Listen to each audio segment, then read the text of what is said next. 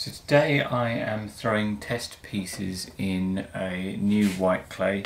This is Pottery Crafts white earthenware throwing clay, um, which seems like a nice compromise on paper, so I'm going to give it a test. Before I do anything else, check out my awesome, the first ever official Old Forge Creations t-shirts. It's about time. From Don't Feed the Bears, who most of my t-shirts are from. Anything bear related uh, will be them. And they designed this specially for me. So it's the scene from Ghost with um, the T-Rex and the bear they use in their illustrations. Uh, something we talked about a while ago and I'm glad it's finally come about. Uh, they will be up for sale doing a, a pre-order while we get the stock in for the t-shirt so um, if you want to get one they are available now and I'll do them as limited runs every now and then in a different colour.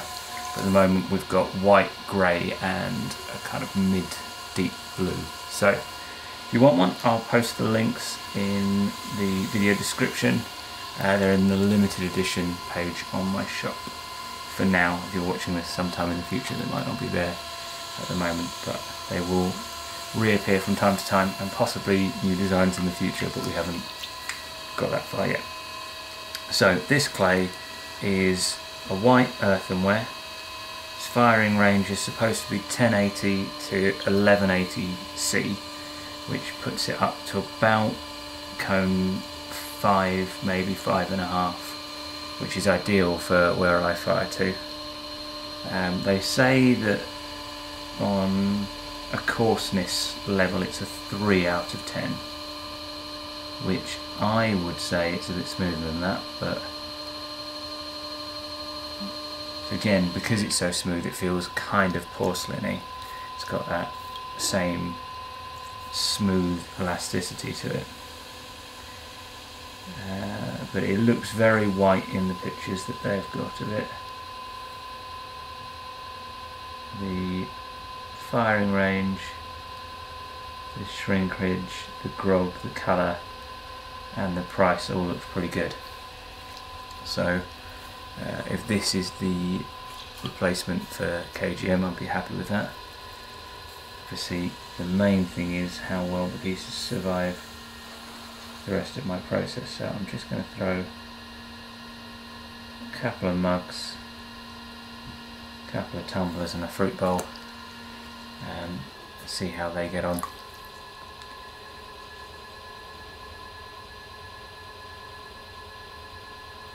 I would say that's as nice to throw as the other clays I've tested so far.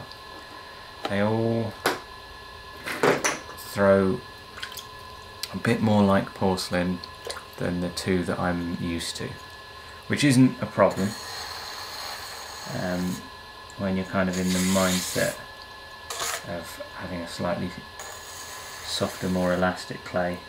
It's no big deal. But um, I never feel like you can be quite as aggressive with them. Well, I suppose I've never felt that because I'm used to the stonewares that I'm used to. They call it an earthenware. I'm not sure what distinction ceramic suppliers are making sometimes other than possibly how low they think it can go. Because some of the clays that they're calling earthenwares, they say are good up to cone 7, cone 8, which, so they're obviously not making it as a purely temperature distinction, or maybe they are, but only at the low end.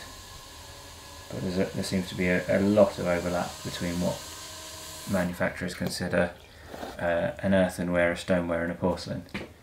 And this one happens to be called an earthenware, but it'll go to the same temperature as my glazes, so I'm going to use it like